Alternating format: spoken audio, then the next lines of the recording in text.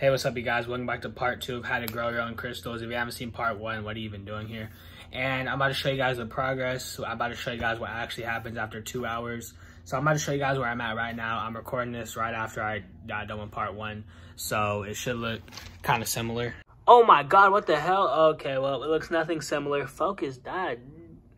All right, so look at all that new growth. Like, come on now. This thing's actually looking kind of fast. Look at that growing like some lightning. All right, so this is the um this is gonna be an extremely short video. This is where I'm at now, and I'll come back in probably two hours. I would show you guys what it's looking like in like 10, 20 minutes from now, 30 minutes. I'll, I'll be back in two hours.